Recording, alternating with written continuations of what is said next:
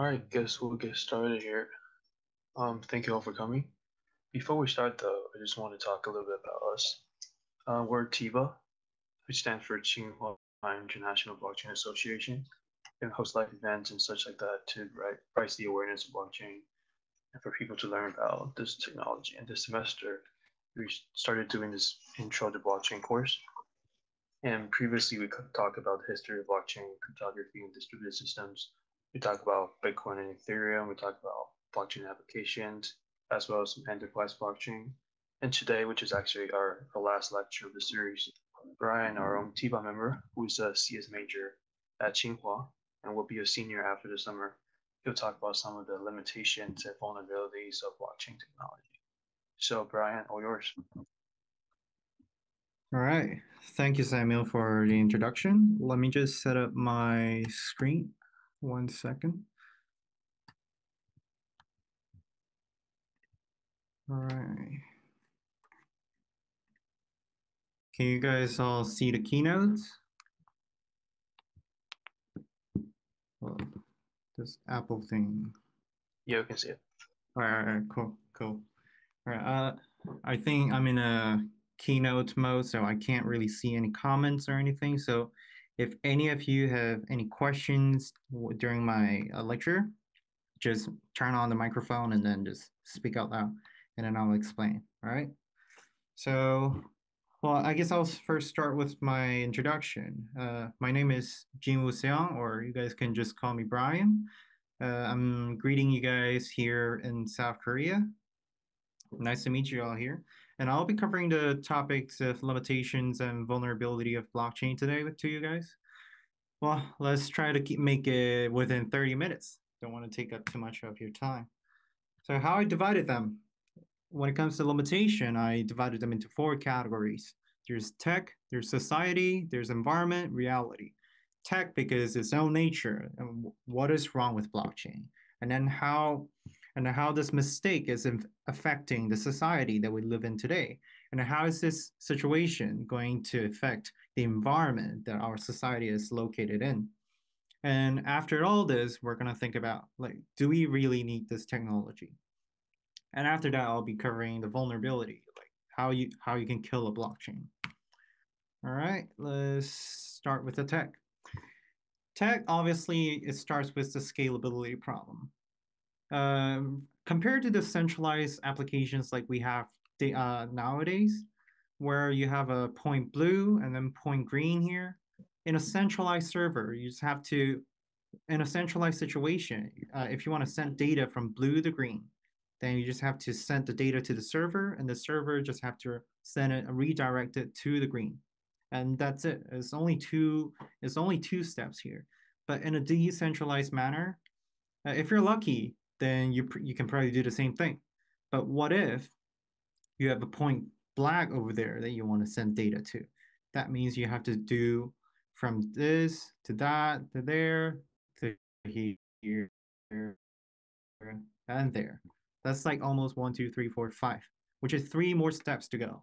It is quite inefficient compared to the centralized. It is a limitation compared to the centralized uh, approach.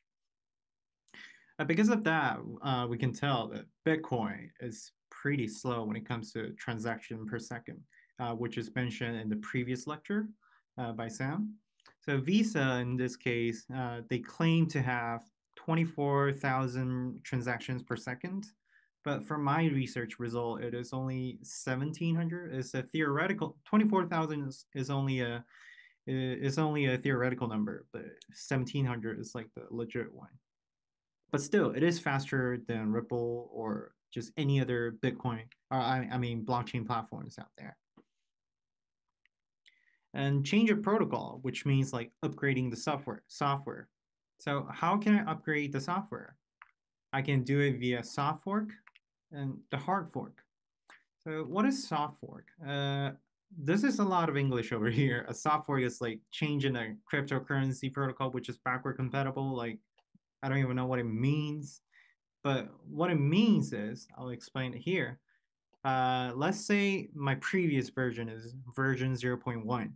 And then I'm just, uh, I, I've been using it for like two blocks now. And after two blocks, I decided to upgrade it, upgrade it to zero uh, version 0.2. So in this case, uh, I, I can uh, I decided to upgrade, but I also decided not to abandon the previous ones, uh, the previous versions. So so the main chain will following the uh, version 0.2 chains. So if you can see the bottom four blocks, which is a V0.2, that's the, the newer version of the block of the chain. And then the main chain will follow that chain. But the uh, version 0.1 won't be abandoned because as long as the version 0.1 uh, blocks are generating and uh, and is generating and then is applying or, or let's say it doesn't go against the new rules, then it can survive.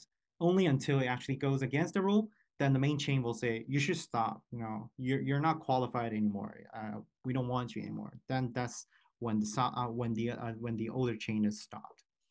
So so it has some space for it. You know, it it won't die after upgrades. It will still survive, but only until you make some mistake, and then you will die. That's the soft fork. And a hard fork, hard fork is basically uh, a more robust way to upgrade the chain, which means once you upgrade it, uh, you know, the older versions of the chain won't be compatible. It will be incompatible with the, the newer one. And if we understand it in via graph a graphical way, that means you uh, our original chain was coin X, and it was operating well and doing uh, doing okay. But one day, just the developers decided to upgrade it, and because uh, because somebody has different opinions about it. Let's say, oh, I, I want I want shares to be all available to every single person. And then somebody will say, oh, no, I don't want shares to be available to everybody. I just want shares to be available to somebody. This is two different opinions. So because these two opinions are too strong, they decided to have their own their own versions of the change. That is where hard forks comes uh, comes to play. Uh, so after the fork means coin X and coin Y, they will both uh, they will both uh, how do you say sustain like they won't die out as long as the developers as long as there are miners maintaining the chain uh, but they do share the same history so it is weird, you know. This uh, this is this means like every time you do a hard fork, you know, your change will split into two different change that operates uh, that both operates well. You know, there there's nothing that that will kill them unless you do something wrong. So one famous uh, blockchain hard fork example will be uh, the Bitcoin Cash. Now, the Bitcoin Cash is uh, generate uh, is created because there's somebody uh, who discovered that in Bitcoin there's something uh, that there's something called signature data, and then it's quite useless in most cases. So they they don't want it to be on the main chain. So with the technology of SegWit, which they created Bitcoin Cash. Uh, well, SegWit is something that off the topic, but it's a side chain side chain solution that can kind of move all the signature data off the main chain to the side chain so that you know the main chain has is smaller in data size and then it's just faster it's more efficient. It's basically helping the bitcoin network to to transact faster. But somebody don't agree. They say you know bitcoin should be just bitcoin. Nobody should just do anything about it. So bitcoin remain so that's why this is a famous. Uh, this is a very famous hard uh, hard fork case that happened, and then Bitcoin Cash is quite famous of a coin itself as well. So feel free to check it out. And I I put a link here, so you can just click click on it after I post this PowerPoint to the group chat. So, all right. And last thing about tech limitation will be the interoperability. So interoperability is is like the communications between blockchains. Uh, let's say you have Bitcoin chain and you have Ethereum chain, but they cannot communicate with each other. The reason is because they have different protocols, they have different coding languages, which Bitcoin is like C or C++. I can't remember exactly, but uh, Ethereum is Go language, which is completely different. And then their consensus uh, consensus mechanisms, uh, they are the same. There are uh, they are POW, I think, for now. But like for Ethereum 2.0 is POS, which is completely different. And some of their privacy measures might be different as well. So because of that, you know, they can't just communicate with each other. There's nothing, there's not not a universal standard for them to communicate with each other. Unlike our da- uh, daily internet, we have uh, we have IP address. Uh, you know, you know, we have like internet address www.something.com. That's like a standard that people follow, and then people people can just use.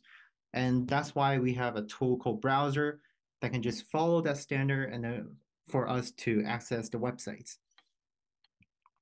But there's somebody trying to do, uh, trying to change this situation, which is Polkadot. We hosted one, we hosted one of the events with them, and it was quite successful.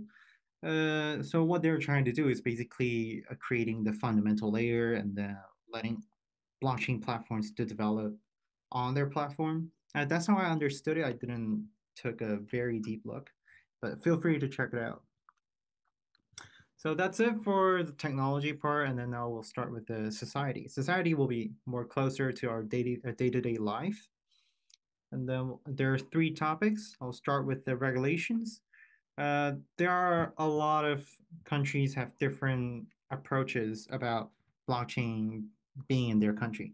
Let's say Estonia. Uh, I, I think that country is called Estonia. So that country basically trying to implement blockchain into their government system, their citizenship, like how they man- manage their citizens. It's like they're trying to make their country a blockchain country. That's one case. But on the other hand, we also have China, which China, what what he's uh, what they're trying is, see, in 2013 they per- prohibited the Bitcoin transactions in 2014, uh, they tried to shut down the Bitcoin trading accounts in commercial banks and payment companies. So they're completely against the Bitcoin uh, being exist in China legally. And in on in 2017 September, uh, they also shut down. Uh, wait, yeah, I, I think they also shut down like I, I ICOs uh, in China. So after that, you know, the, the ICOs were not legal in China. ICO is basically uh, initial coin offering is basically something very similar to our IPO nowadays, which is uh, you have crowdfunding and then people can pay the money. Uh, they will buy the coins via paying the money. So it's like coins will be your share that's how you understand the ICO.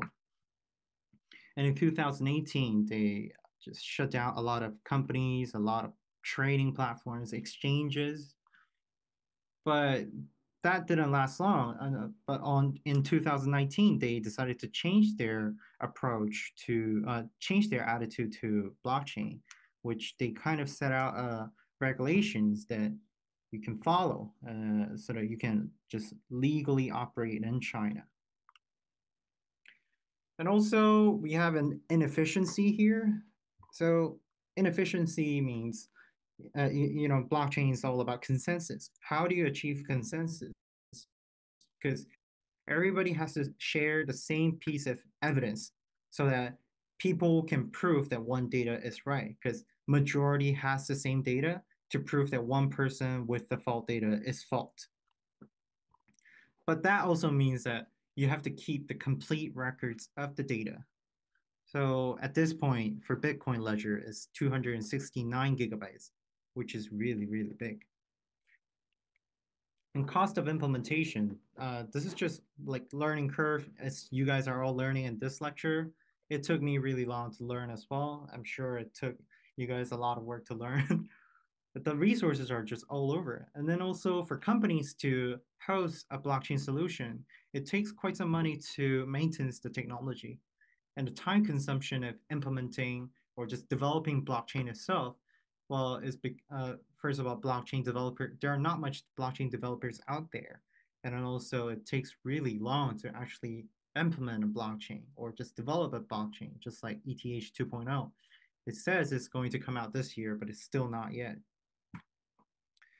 and financial aspect wise, uh, yeah, it costs a lot. There's really not much to explain. This it's a future technology. There's not much cheap solutions out there. You just have to, yeah, you, you just have to pay a lot of money to get what you want in blockchain. And that's it for the society wise. So, how is that situation affecting our environment? So, in Bitcoin, in blockchain, as we all know, there's something, there's a terminology called mining, like mining cryptocurrencies. So, how do you mine it? Uh, but that's more specific to okay. Oh. All right. Okay. Sorry.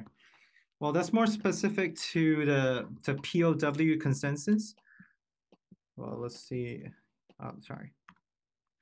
Well, which means you have to just use your computer to keep on calculating, which if I make it more easier, just your CPU. You have to have your CPU running all the time. And the CPU takes a lot of energy. As a result, you know, and, and uh, as a result, mining Bitcoin alone uses the same amount of energy as used by entire island of Ireland in a single year, which is a, a huge amount. Uh, there's a chart for you guys to kind of just visualize it. Uh, Bitcoin's energy consumption compared to Israel and Greece is about is equivalent or even more than a country's cost. And then the amount of energy that consumed by Bitcoin can be uh, can be powered uh, 80 more than 85% of Czech Republics, and then almost 3% or 2% of United States, which is a lot. So it is calculating, uh, it is calculating, it is wasting its power, and then but at the end of the day, only one uh, only one node will get the the block that uh, only one node will get the calculated result. So all the other calculated powers will be just wasted. Uh, so which is not good for our environment. And after all that, after all those limitations, let's talk about reality. Like, do we really need it? So let's talk about the big corps like we have today. Like they, there are some companies even using Windows 7s, Windows XP in their uh, in their manufacture uh, in, in their manufacturer stream uh, lines, or just some of their th- those those parts where they don't have to have the most advanced technology, uh, but they just have to have it running all the time. Maybe blockchain with the implementation of blockchain might help them a little, but the fact is it costs a lot to implement the blockchain itself.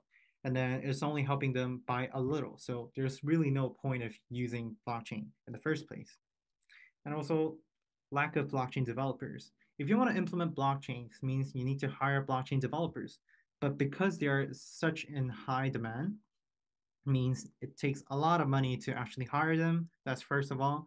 And second of all is you just can't find them at the first place. And last is blockchain in some cases can be just slow and cumbersome. Uh, just like what I said before, like it takes uh, the WeChat Pay, Alipay, it's a centralized server and it does everything super, super fast. Like it takes inst- there's really no delay in transferring money via WeChat compared to BTC. If you want to tr- do a transaction on BTC, is 16 minutes. So that is the fact here.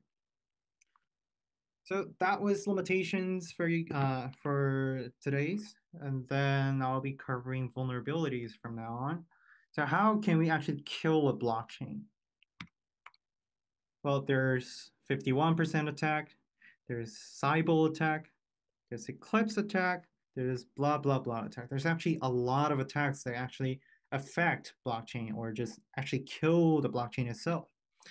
But today I'm just gonna cover, since it's for more for uh, beginners, uh, this course is more for beginners, so I'll be covering the these three over here. So I'll start with the 51% attack. Uh, if you want to know what 51% attack is, you should probably understand how blockchain works at the first place. If you follow along our course series, then you probably know it by now, but I'm sure there's somebody who doesn't know it yet, so I'll just simply, uh, I'll just cover it briefly. And I'll, I'll be talking about the POW consensus uh, more uh, individually.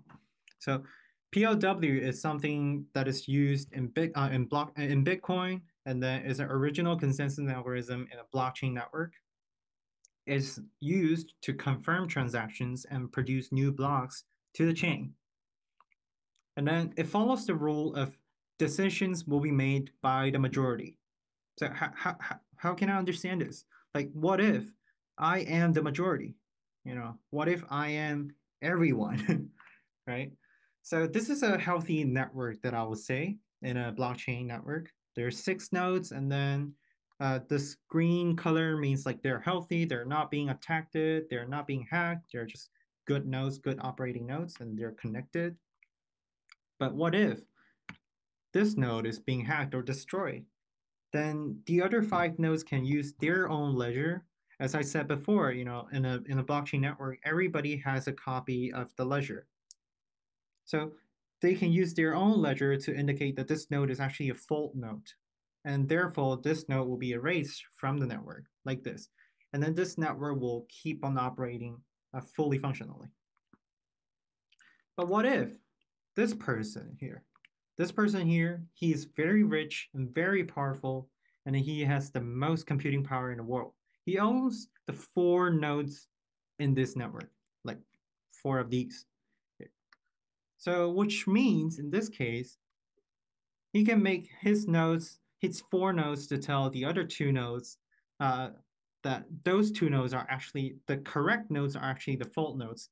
And then they can just, oh, I forgot the deleting, sorry then. I forgot the deleting uh, animation, but basically these two green nodes will be eliminated and then the network will be only uh, only containing the four red nodes that is owned by this guy. Right, so, which means he will own the entire network. That's like one of the scenarios of 51% attack.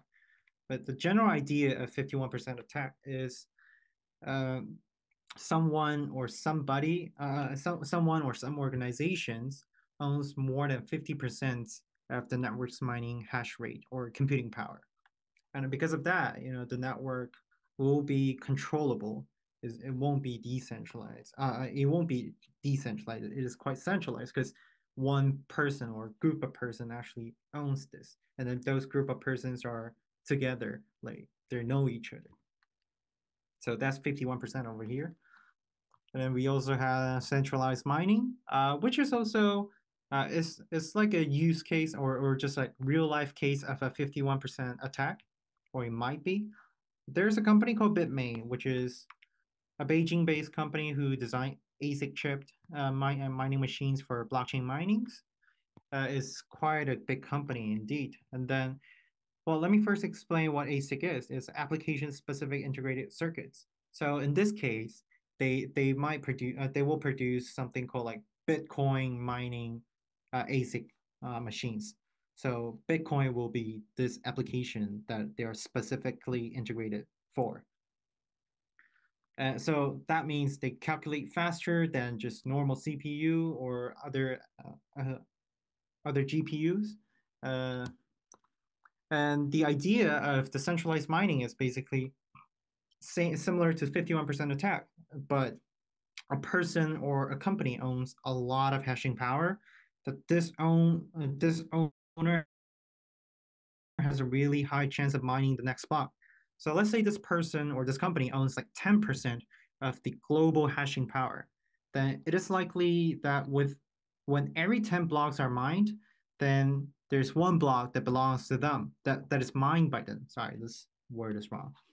So whenever people mine a block, then they get they get a reward. So th- that is how that is how they will earn the money. So that might cost 51% attack because this is only 10% that we're talking about here. But what if this 10% increase until more than 50% or just like 51, more than 51%? Uh, it won't be a very healthy situation for our network here. There's more info down there. And the last but not least, the DAO attack. Well, the DAO attack is a, is a fa very famous uh, case on Ethereum.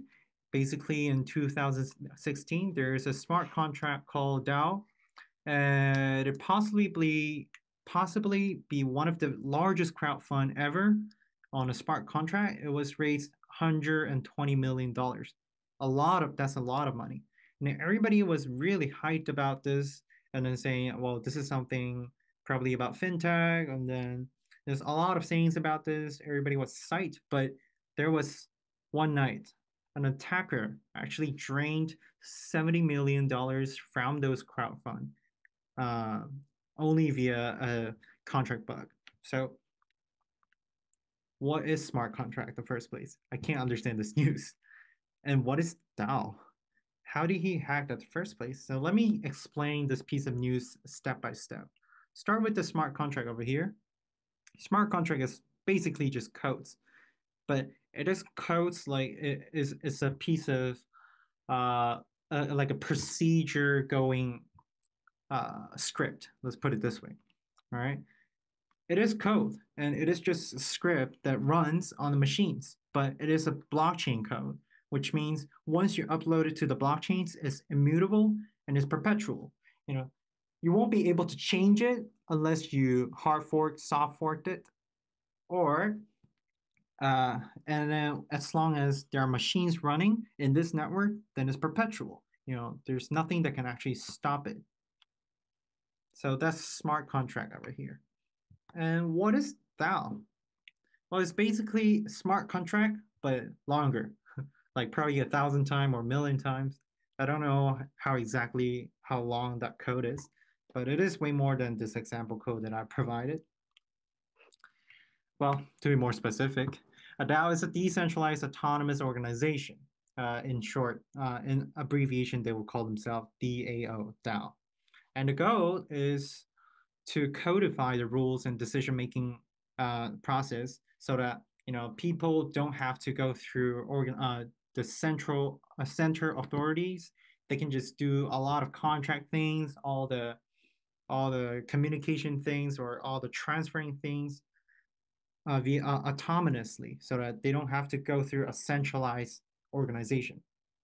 And then those rules, the autonomous, uh, how to how to autonomize the process, the rule is set by writing smart contracts. But let me be more specific about how DAO works. So a group of people will write about smart contracts and then those contracts will be running on the organizations. And via ICO, uh, uh, the the pro uh, the organization will crowdfund uh, will crowdfund uh, their their operating money, and then which the more tokens you have, it doesn't mean that you have more uh, shares or more, let's say more more money. Yeah, yeah. It's not it's not really it's really not about money, but it's more about ownership. It's like the more money you put in, the more authority you have in this organization to speak and then to make decisions. And then after this funding period, the organization will start to operate and then following the smart contract rules.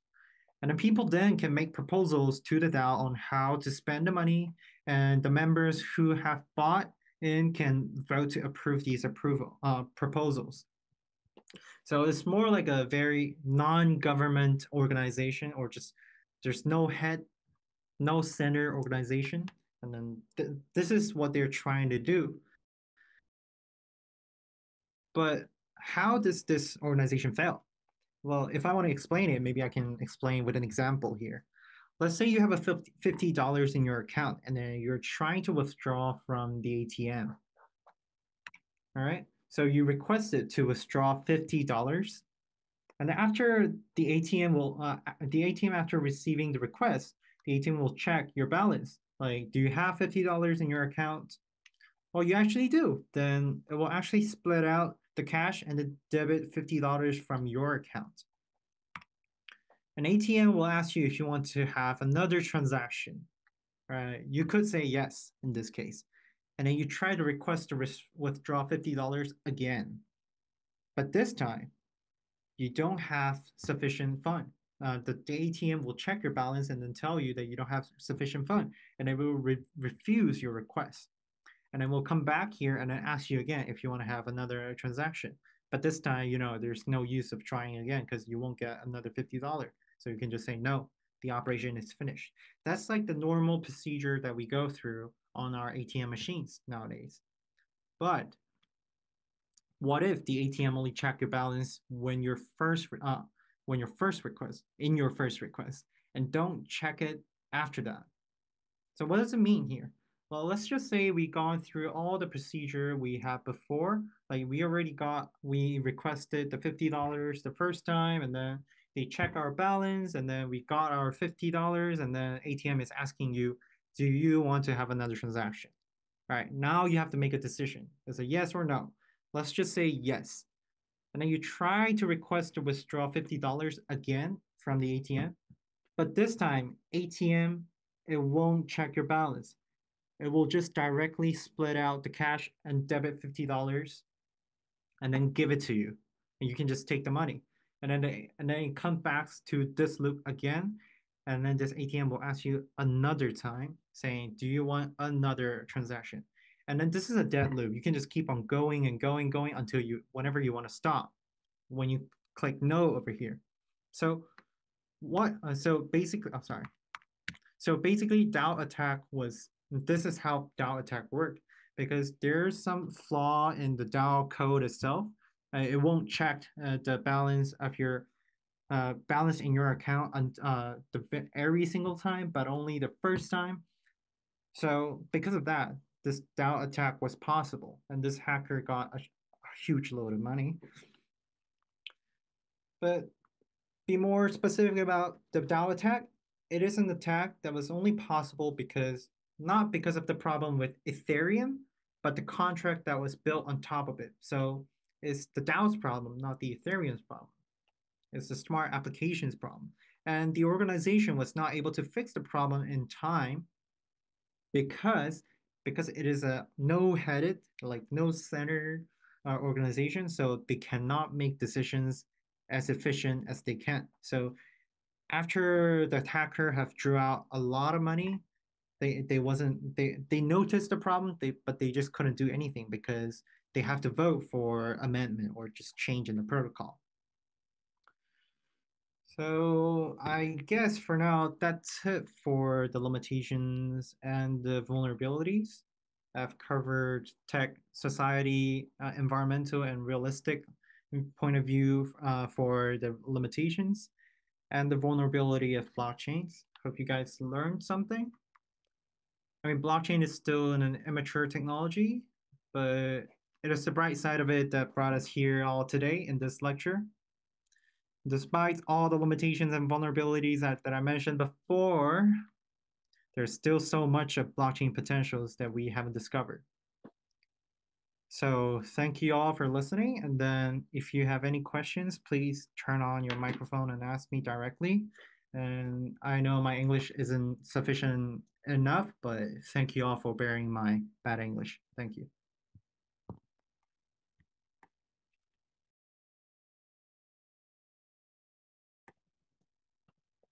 All right, I mean, let me just stop this screen sharing.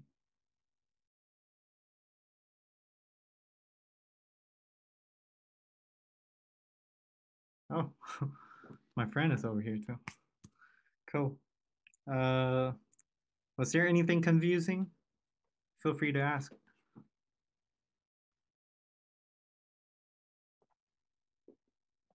All right. Well, Sam, uh, since this is the very last lecture, do you want to make like a conclusion to the series? Hello? Well, I guess we'll have a blog, blog post or some sort of conclusion following up. Um, yeah, yeah, yeah. I mean, like a conclusion speech for this whole series. I we mean, did I, a, I haven't prepared anything, so probably be in the blog or something.